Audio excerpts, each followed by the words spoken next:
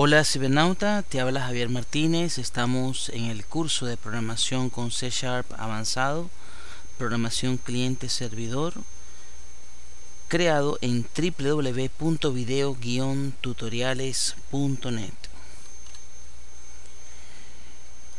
Bien cibernauta, entonces como ya habíamos quedado, vamos a hacer nuestro formulario base para la búsqueda ok entonces vamos a agregar un nuevo elemento o un window forms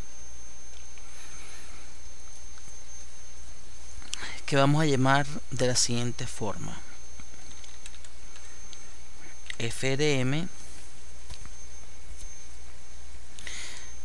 búsqueda base. Se va a llamar así verdad le voy a dar agregar.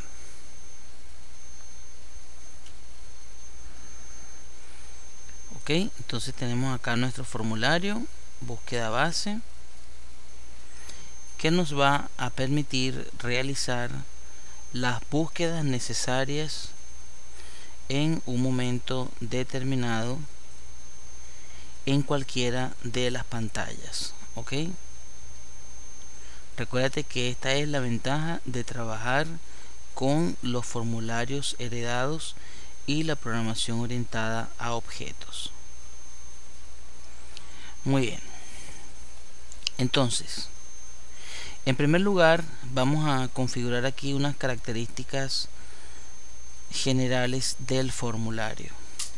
Como por ejemplo, colocar aquí búsqueda con acento búsqueda general.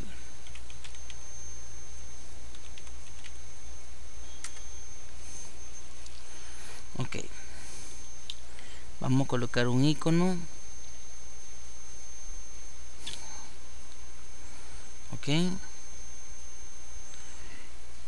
El icono del usuario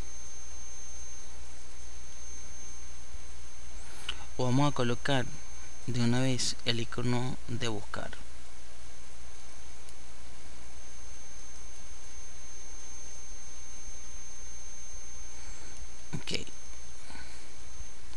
Muy bien.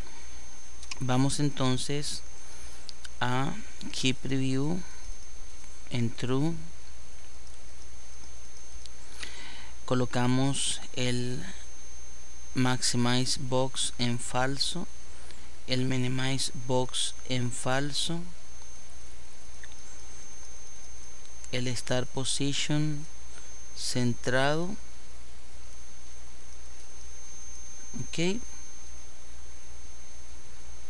y estas son algunas de las características verdad ya después veremos otras si es necesaria. Guardamos. Ok Vamos a pasar ahora acá al cuadro de herramientas para ir colocando los controles necesarios. Necesitamos un label, un text box,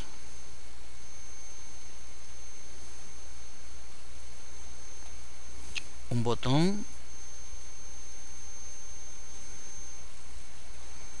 y aquí en los controles de datos un data grid view.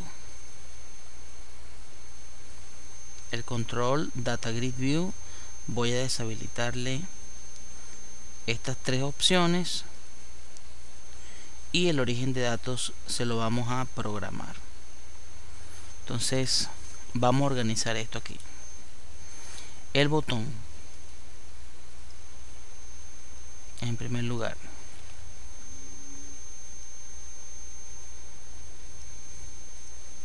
vamos a llamarlo btn buscar.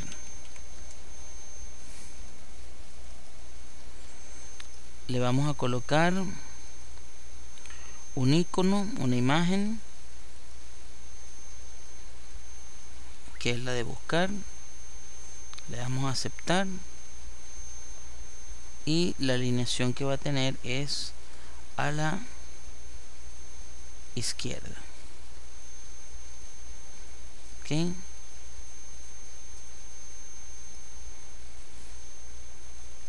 Bien. Aquí le colocamos como texto buscar. Muy bien. Entonces tenemos nuestro botón listo viene el cuadro de texto cibernauta. Vamos a colocarlo ampliarlo. Y el label el texto que va a llevar el label va a decir lo siguiente. Texto o cadena a buscar. Muy bien.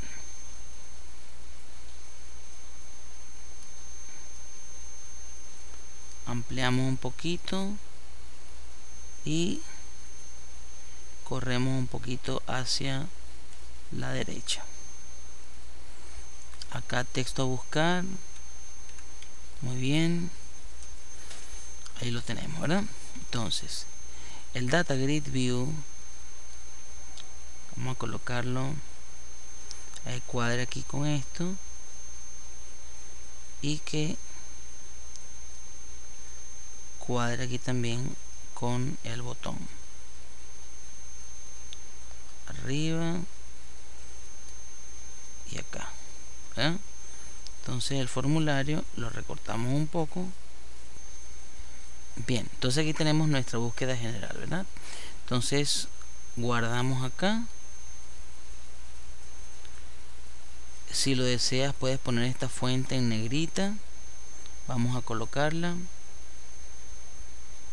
Acá en font. Negrita. Aceptar. Y vamos a recortar un poco aquí el texto ahí. ¿verdad? perfecto. Muy bien.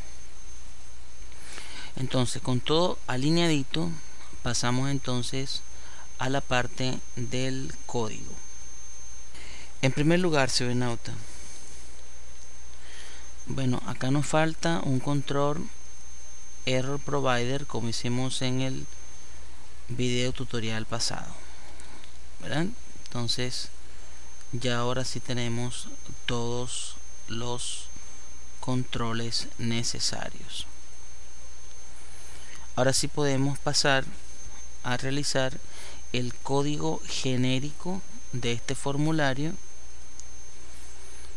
Ok y en primer lugar vamos a crearnos una como vamos a sobreescribir estos métodos vamos a crearnos uno virtual que se va a llamar buscar.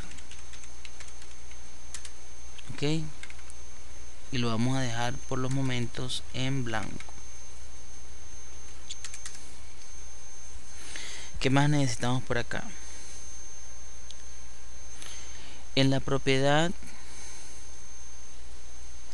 clic del código. Ok. La propiedad clic doble clic vamos a hacerle allí. En la propiedad clic no doble clic sino clic ok vamos a hacer lo siguiente. Colocamos un condicional if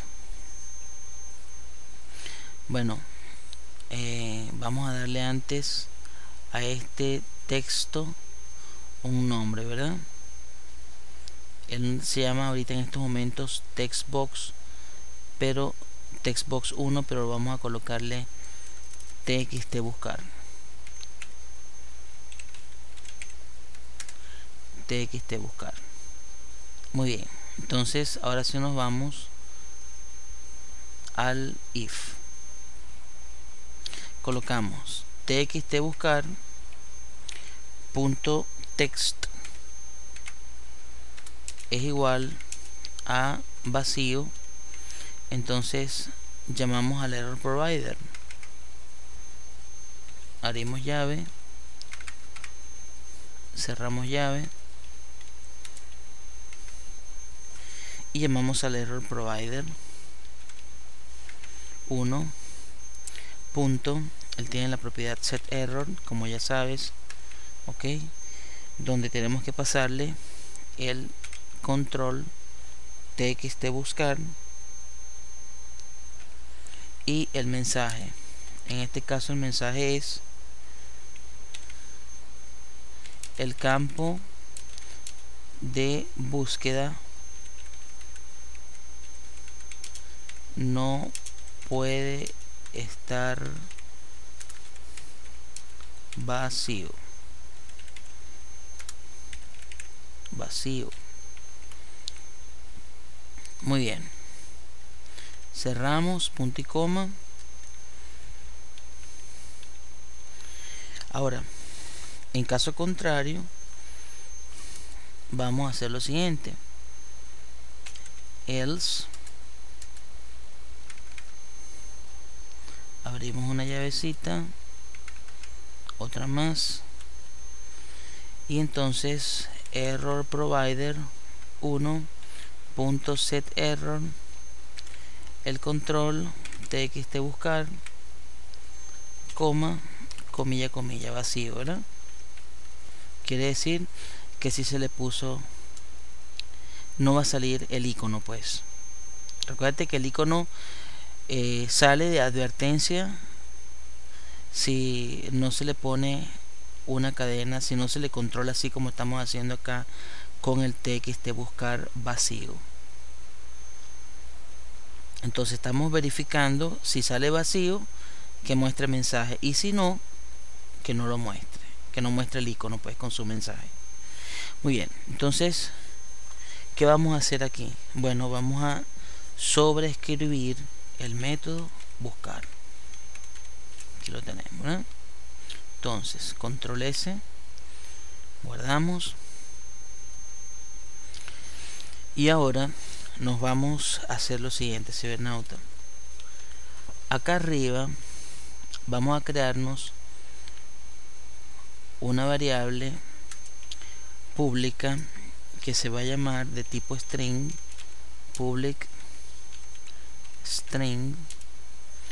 Se va a llamar código seleccionado. Ok muy bien ahora ve cibernauta control S para guardar. Nos vamos aquí a la búsqueda. Bueno vamos a hacer algo aquí con este evento verdad ve aquí el evento de la cuadrícula. Ya sabes que cuando colocamos acá un texto aquí le seleccionamos con doble clic verdad bueno ve puedes seleccionar cel doble clic verdad puedes seleccionar con cel clic o sea con un clic con doble clic e incluso puedes seleccionar con enter. Entonces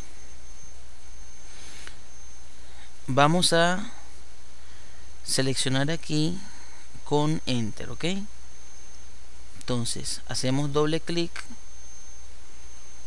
y vamos a llamar al evento data grid view 1 cell enter. Ok bien. ¿Qué vamos a codificar aquí, cibernauta? Bueno, simplemente la variable que tenemos ahí arriba, código seleccionado, código seleccionado, va a ser igual a que cibernauta ve a data grid view 1 punto lo que me devuelva rows ok rows pero acá hay que convertirlo primero a entero.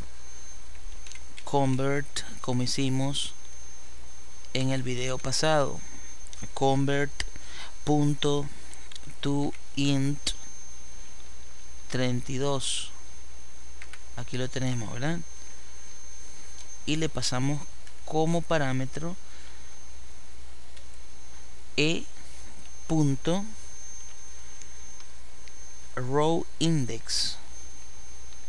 Aquí lo tenemos cerramos aquí el paréntesis y cerramos el corchete muy bien. Luego viene la propiedad cells que se le pasa como índice 0 ¿verdad? y por último el value aquí punto value se lleva a tu string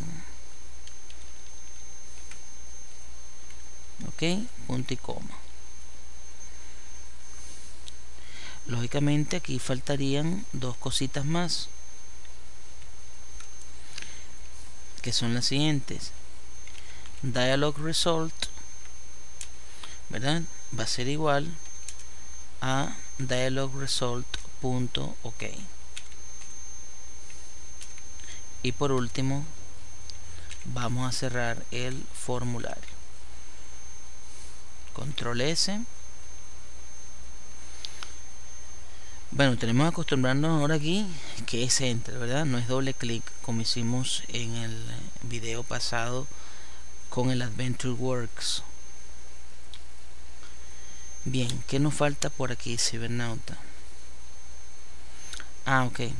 Luego de lo que va a pasar con el data source nos falta el data source. Bueno para el data source vamos a tener que crearnos aquí también una variable pública de tipo data table ok que se va a llamar dt ok. Luego aquí en buscar vamos a colocar lo siguiente. Aquí en buscar. If abro paréntesis y coloco dt punto default view punto count es distinto de menos 1 ok entonces ¿qué hago? abro aquí y cierro aquí la llave y coloco el source del data grid view ¿verdad? data grid view 1.data source va a ser igual a dt default view. Correcto. Bueno con esto ya estamos listos. Cibernauta y entonces en el próximo video podemos hacer nuestro formulario heredado. Como vamos a heredar de aquí de búsqueda base vamos entonces a generar. Clic botón derecho generar. Bien entonces como ves aquí no hay ningún problema con nuestro formulario búsqueda base. Y entonces nos veremos en el próximo video para ver el formulario heredado trabajando con estas características y su codificación. Será entonces hasta el próximo video.